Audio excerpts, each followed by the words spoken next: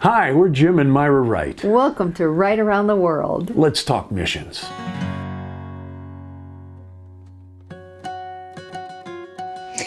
Hi, we're Jim and Myra.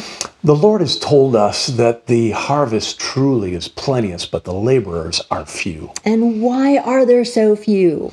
I think that it's because there are many people that have heard the call of God to go to the mission field, but because of fear, fear of the unknown, they have said no. So we're making these videos to promote missions and to help people get over fears. You know, we've been to 59 different countries. We've lived in 11 of those countries. And that doesn't make us experts on it. no. We have seen a lot of amazing things. We've eaten a lot of really strange food. But everywhere we go, we fall in love with the people. Yeah.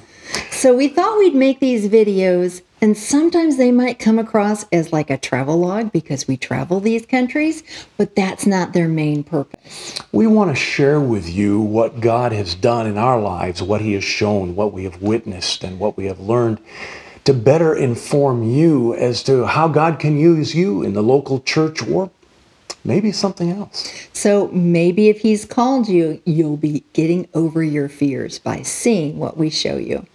So, we want to assure you that the missions life is not necessarily an easy life, but it is absolutely worth it. So, we invite you to join us as we travel the globe and consider missions.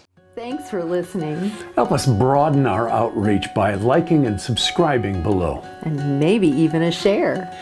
Thanks again, and may His best blessings be yours.